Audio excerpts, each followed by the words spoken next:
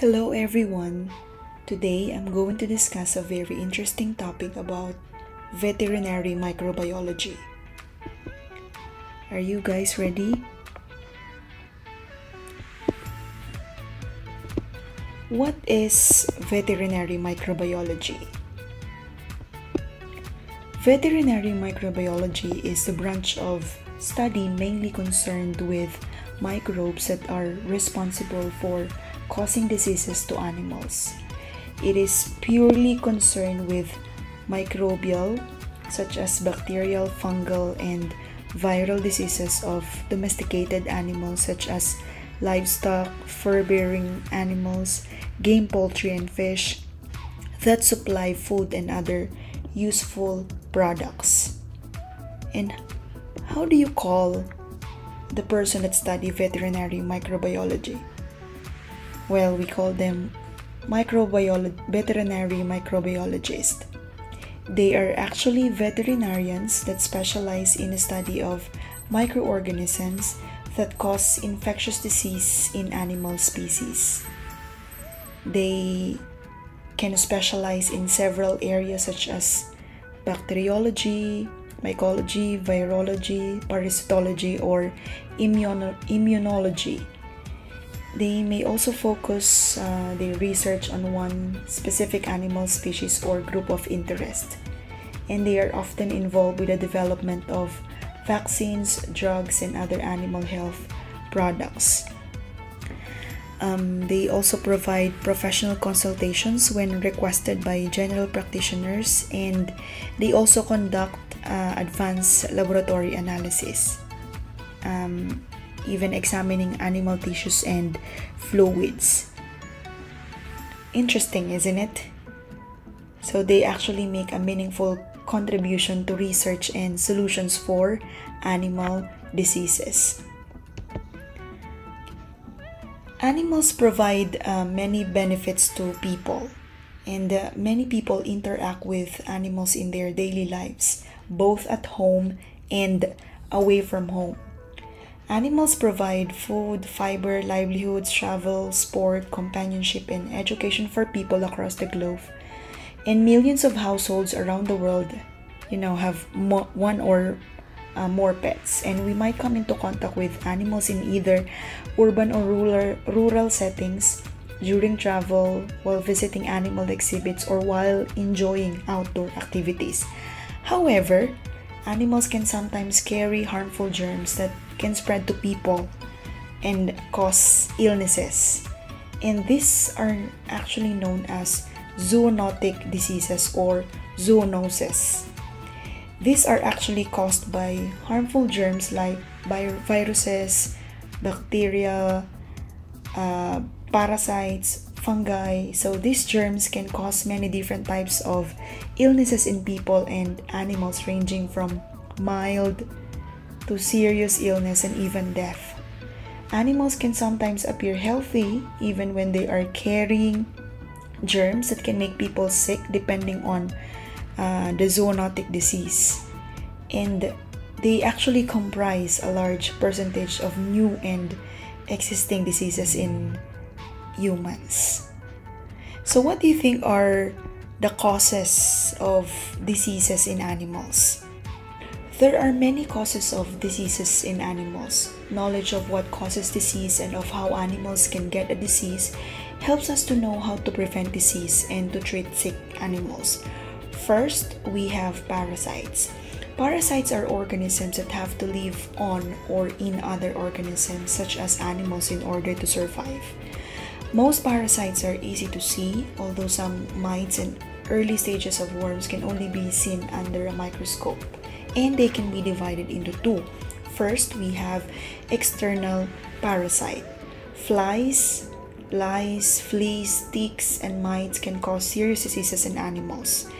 And some live on the animals for their entire lives, and others only spend part of their lives there, while others only visit to feed. They can result in irritation, skin damage in animals, and uh, some parasites can also pass diseases such as red water and three day stiff sickness between animals. Uh, another one is what we call internal parasite. They can cause serious diseases and loss of production in animals. This could include uh, roundworms, flukes, and tapeworms. They usually live in the stomach and intestines, but also in other parts of the body, such as the lungs and the liver. Uh, aside from the parasites, there are also the so called microbes or germs. So they are usually too small to be seen with the naked eye, and only a microscope will enable us to see what you know a microbe uh, looks like. But just because we do not see microbes with our naked eye does not mean that they cannot cause diseases in animals. Some microbes are harmless. For example, bacteria that surround animals and people, they even live in our skin and inside our nose, mouth, and stomach, but they do not normally cause problems. Some microbes are even helpful, such as the ones in our gut, which helps us to digest food. Many different microbes can cause disease in animals, but there are four main types of it. There's the bacteria, viruses, protozoa, and fungi. Other causes includes metabolic diseases. An upset in the normal functioning of the animal that is not caused by infection, poisoning, or feed deficiencies and usually result from the intensive animal production. An example of this would be milk fever in highly productive dairy cows. Another cause is congenital diseases, and in some cases, animals can be born with the disease reason why it's called con- congenital. Some of this may be inherited or passed on from the parents. Uh, this is rare, and inherited diseases are usually seen at birth. An example of this would be a congenital hydrocephalus, which is a swelling of the brain caused by fluid and can be clearly seen as a swelling of the head. And uh, another cause of uh, diseases in animals is the environmental diseases. Environmental problems such as littering contribute to some diseases. For examples, you know, there are animals that can probably eat plastic bags or wires and can actually harm uh, the animal's health. So, how do germs spread between animals and people? That's a question. How do you think these germs spread between animals and people? Because of the close connection between people and animals, it's important to be aware of the common ways people can get infected with germs that can cause these zoonotic diseases. These can actually include first, direct contact. Coming into contact with the saliva, blood, urine, mucus, feces, or other body fluids of an infected animal. Uh, an example would be petting or you know touching animals uh, or when you are uh, beaten by by them or you know when you get scratches. Indirect contact. Coming into contact with areas where animals live and roam or objects or surfaces that have been contaminated with germs and examples would include aquarium tank water, pet habitats, chicken coops, barns, plants and soil, as well as pet food and water diseases. I mean water dishes. The third one is vector borne. Um, being bitten by a tick or an insect like a mosquito or a flea. Next, food borne eating or drinking something unsafe that are contaminated with feces from an infected uh, animal.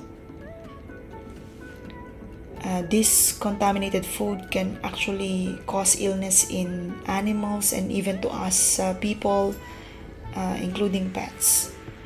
Number five, uh, waterborne. Drinking or coming in contact with water that has been contaminated with feces from an infected animal. Okay, let us talk about the examples of the common zoonotic diseases. There are actually a lot of known zoonotic diseases from A to Z but I will just discuss some here. Okay, so one well known zoonotic disease is rabies, okay, or rabies. So, this is actually a deadly condition that is transferred through an animal bite. And the virus is spread through the bite or scratch of a rabid animal. Dogs, raccoons, skunks, and bats are actually the common carriers. And symptoms could include paralysis, hallucinations, insomnia, and agitation. And without quick treatment uh, following a bite, um, the rabies infection is actually almost uh, always fatal. Okay, another zoonotic uh, disease is uh, what we call anthrax. So this is caused by a spore-forming bacterium, Bacillus anthracis, uh, which is a large square-ended rod-shaped capsulated spore-forming bacillus. They can be rap- rapidly fatal to large numbers of livestock, particularly cattle. Um, it definitely affects uh, animals, and humans can become infected through contact with an infected animal or by inhaling spores. Symptoms depend on the route of infection and they can range from skin ulcer with a dark scab to difficulty breathing. Antibiotic treatment cures most infections, and inhaled anthrax is harder to treat and can be fatal. Third example of um, zoonotic disease is Lyme disease. So this is actually transmitted through the bite of a black-legged tick. Mice are also typically the carriers of Lyme disease and when a tick bites an infected mouse, it then carries the disease to any human it bites. And if Lyme disease is not treated, it can spread through the whole body, affecting the heart and the nervous system. And even if you do get the treatment, um, you may still have the long term of uh, pain and fatigue. Another example of zoonotic disease is what we call as salmonellosis. Okay, so this is a bacterial infection that affect millions of people every year. Mm-hmm. And they can live in the intestinal tract of many different animals, usually poultry, uh, some birds, and even reptiles. And even us, we can get a salmonella infection if we do not wash our hands right after we get in contact with animals carrying salmonella or their environment just as such as bedding, food, or tank uh, water. Okay, next. Aside from salmino- sal- salmonellosis, um, there's also another example which is leptospirosis. I guess uh, everyone is quite familiar with this since it's very common uh, even in the Philippines. So, this is a bacterial disease that affects animals and even us humans. They are actually caused by bacteria of the genus Leptospira. And in humans, it can cause a wide range of symptoms, and some of which may be mistaken for other diseases. And some infected persons, however, they may not even show symptoms at all. Okay, another example of uh, zoonotic disease is what we call as brucellosis or uh, also known as Mediterranean fever. So this is a disease caused by various species of Brucella bacteria that are most often found in hoofed livestock such as cattle, sheep, pigs and goats, and although domestic dogs can also carry the disease causing bacteria. A person can become infected with the bacteria by consuming undercooked meat or unpasteurized dairy products or by handling infected animals. And death from brucellosis is rare, but symptoms may last for weeks to several uh, months. So, why do you think these zoonotic diseases are actually a growing concern? So, one of the most simple reasons could be that people, we are invading animal habitats more often. Which actually facilitates more interactions between humans and uh, animals. Mm-hmm. And when we carve into forest for logging or encroach on habitats, we set up scenarios where we contact uh, wildlife on a more frequent basis. Do you agree? Do you agree with these statements? And actually, certain cultural practices may also be contributing to more zoonotic diseases. You know putting pressure on the environment through hunting for example and development throws the ecosystem off balance and makes it harder for animals to survive as they were. And the animals are forced to travel farther and search harder for food or mates. And in this chronically stressed condition those animals are more susceptible to disease and more likely to spread disease to humans and such hunting practices also provide more opportunities for people to become exposed to these zoonotic diseases. And uh, another potential reason why these zoonotic diseases are on the rise is that people are more connected to one another now than ever before, right? Providing more opportunities for zoonotic disease to spread far from wherever it originated. And we can say connectedness is a huge deal. Even places that are relatively remote are more connected now than they ever have been in the past. And I can strongly agree with this with this uh, issue or with this matter. So what can we do to protect ourselves and our families from these zoonotic diseases? So the idea that animals can carry these viruses and have co-evolved with them over periods of time and then those things can spill over to humans is easy for people to be scared by it can have an outsized impact psychologically on our fear of the natural environment and our attitude toward wildlife but the relative risk of a new zoonotic disease appearing is actually quite low right?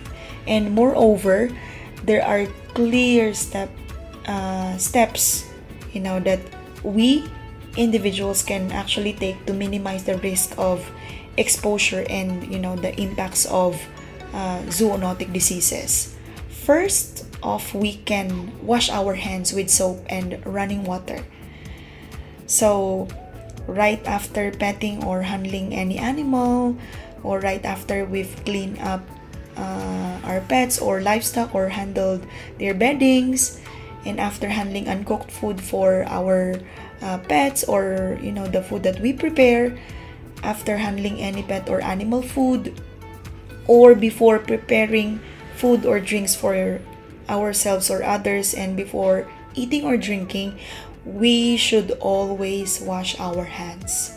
So let's try to wash our hands more diligently.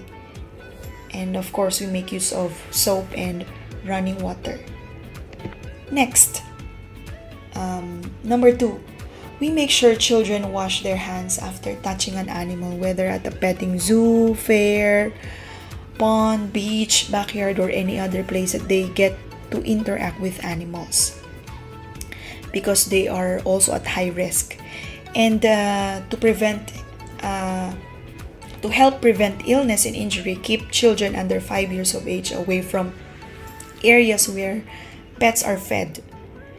And then make sure children stay away from wildlife and that they do not pet unknown dogs or cats without the owner's permission.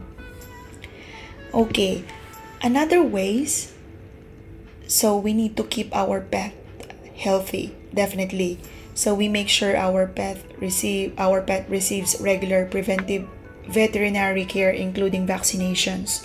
So we need to talk to our vet, to our veterinarians about the appropriate vaccinations for our pets, you know.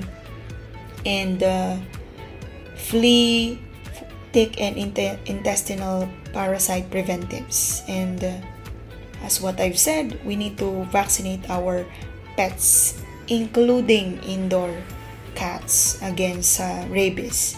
And then we clean up after our pets and then store pet food separate from people uh, foods and feed your pets in separate areas from where we eat or prepare food for us and our you know for our families and of course for our health as well as your pet's health we do not share our food with our pet. Okay. So these are just some of the simple ways that we can you know we can do to protect ourselves from these zoonotic diseases.